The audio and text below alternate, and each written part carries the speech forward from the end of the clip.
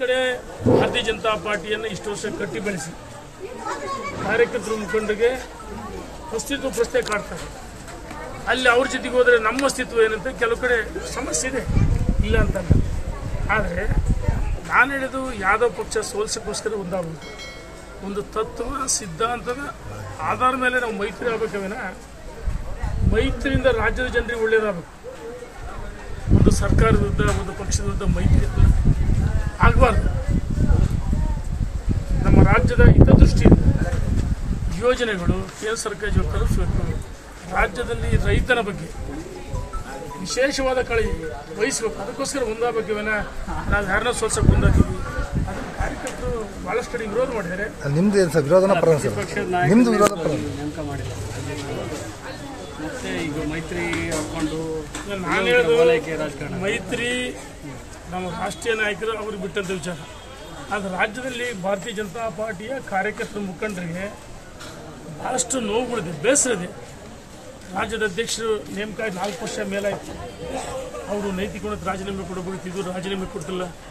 ನಾನು ವೈಯಕ್ತಿಕವಾಗಿ ನಳಿನ್ ಕುಮಾರ್ ಕಟೀಲ್ ವಿರುದ್ಧ ಮಾತಾಡ್ತಲ್ಲ ನೋಡಿ ಪ್ರಜಾತಂತ್ರ ನಮ್ಮ ಕ ಭಾರತೀಯ ಜನತಾ ಪಾರ್ಟಿಯ ಒಂದು ಡೆಮಾಕ್ರಸಿಯಲ್ಲಿ ಎರಡು ವರ್ಷ ಮೂರು ವರ್ಷ ಅಧ್ಯಕ್ಷರ ಅವಧಿ ಇದೆ ಆದರೆ ಮುಂದುವರಿಸತಕ್ಕಂಥ ಅವಶ್ಯಕತೆ ಇಲ್ಲ. ಒಬ್ಬ ಮಾಸ್ ಲೀಡರ್ ಬೇಕು. ಅಂತ ಮಾಸ್ ಲೀಡರ್ನ ಆಯ್ಕೆ ಮಾಡಬೇಕು ರಾಜ್ಯದ ಅಧ್ಯಕ್ಷನ ಅವರು J D S B J ಪಿಯಲ್ಲಿ ಎಲ್ಲ ಸಮರ್ಥ ಇಲ್ವಾ ಬೇರೆ ಪಕ್ಷ ಆಡೋಕ್ಕಾಗಲ್ಲ ಹೇಳೋಕ್ಕಾಗಲ್ಲ ನೋಡಿ ಭಾರತೀಯ ಜನತಾ ಪಾರ್ಟಿಯಲ್ಲಿ ಸಮರ್ಥ ನಾಯಕತ್ವ ಇದೆ. ಇಲ್ಲಿ ಪ್ರತಿಪಕ್ಷ ನಾಯಕರು ಬಹಳಷ್ಟು ವಿಳಂಬ ಆಗಿದೆ. ಚುನಾವಣೆ ಮೇ ಹತ್ತು, ಮೇ ಹದಿಮೂರು ಫಲಿತಾಂಶ ಬಂತು. ಈ ನಾಲ್ಕು ತಿಂಗಳಾಗ್ತಾ ಬಂತು. ಇದುವರೆಗೂ ಪ್ರತಿಪಕ್ಷ ನಾಯಕನ ಆಯ್ಕೆ ಮಾಡಿಲ್ಲ. ರಾಜ್ಯದ ಅಧ್ಯಕ್ಷ ಬದಲಾವಣೆ ಆಗಿಲ್ಲ ಅಂತೇಳಿ ಇದು ರೇಣುಕಾಚಾರ್ಯ ಹೇಳಲ್ಲ ಭಾಳಷ್ಟು ಜನ ಶಾಸಕರುಗಳು, ಹಿರಿಯ ಮುಖಂಡರುಗಳು ನನಗೆ ಕರೆ ಮಾಡಿ ಮಾತಾಡ್ತಾರೆ. ಇಲ್ಲ, ನೀವು ಮಾತಾಡೋ ಸರಿ ಇದೆ, ನಮಗೆ ಮಾತಾಡೋಕ್ಕಾಗ್ತಾ ಇಲ್ಲ. ನಾನು ಕಾರ್ಯಕರ್ತರ ಮುಖಂಡರು ಮತದಾರರ ಭಾವನೆಗಳನ್ನು ವ್ಯಕ್ತಪಡಿಸ್ತಿದ್ದೀವಿನ ನಾನು ಬಿ ವಿರುದ್ಧ ಅಲ್ಲ, ಯಾವುದೇ ನಾಯಕರ ವಿರುದ್ಧ ಅಲ್ಲ. ಆದರೆ ಒಂದಂತೂ ಮಾತು ಇವತ್ತು ನಾನು ಏನು ಮಾಡೋಕ್ಕಣ ನನ್ನ ಕರ್ತವ್ಯ ನಾನು ಮಾಡ್ತಾ ಇದ್ದೀನಿ. ಇದ್ರ ಮೇಲೆ ಅವರು ಬಿಟ್ಟಿದ್ದು ಲೋಕಸಭೆ ಚುನಾವಣೆ ಎಷ್ಟು ತಿಂಗಳಿದೆ?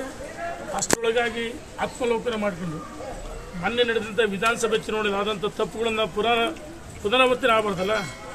ಆತ್ಮಲೋಕನ ಮಾಡಿಕೊಂಡು ಸರಿ ಮಾಡಿಕೊಂಡು ಸಂಘಟನೆ ಮುಂದೋದ್ರೆ ಬಿ ಜೆ ಪಿ ಭವಿಷ್ಯ ಇದೆ. ಚುನಾವಣೆ ಮೇ ಹತ್ತು ಮೇ ಹದಿಮೂರು ಫಲಿತಾಂಶ ಬಂತು. ನಾಲ್ಕು ತಿಂಗಳಾಗ್ತಾ ಬಂತು. ಇದುವರೆಗೂ ಪ್ರತಿಪಕ್ಷ ನಾಯಕನ ಆಯ್ಕೆ ಮಾಡಿಲ್ಲ. ರಾಜ್ಯದ ಅಧ್ಯಕ್ಷ ಬದಲಾವಣೆ ಆಗಿಲ್ಲ ಅಂತೇಳಿ ಇದು ರೇಣುಕಾಚಾರ್ಯಗಳಲ್ಲ ಭಾಳಷ್ಟು ಜನ ಶಾಸಕರುಗಳು ಹಿರಿಯ ಮುಖಂಡರುಗಳು ನನಗೆ ಕರೆ ಮಾಡಿ ಮಾತಾಡ್ತಾರೆ. ಇಲ್ಲ ನೀವು ಮಾತಾಡೋ ಸರಿ ಇದೆ. ನಮಗೆ ಮಾತಾಡೋಕ್ಕಾಗ್ತಾ ಇಲ್ಲ.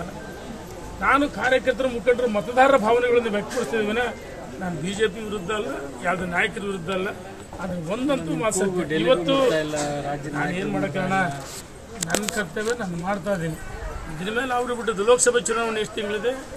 ಅಷ್ಟರೊಳಗಾಗಿ ಆತ್ಮಲೋಕನ ಮಾಡಿಕೊಂಡು ಮೊನ್ನೆ ನಡೆದಂಥ ವಿಧಾನಸಭೆ ಚುನಾವಣೆಯಲ್ಲಿ ಆದಂಥ ತಪ್ಪುಗಳನ್ನು ಪುನಃ ಪುನರಾವರ್ತನೆ ಆಗ್ಬಾರ್ದಲ್ಲ? ಆತ್ಮಲೋಕನ ಮಾಡಿಕೊಂಡು ಸರಿ ಮಾಡಿಕೊಂಡು ಸಂಘಟನೆ ಮುಂದೋದ್ರೆ ಬಿ ಜೆ ಪಿ ಭವಿಷ್ಯ ಇದೆ.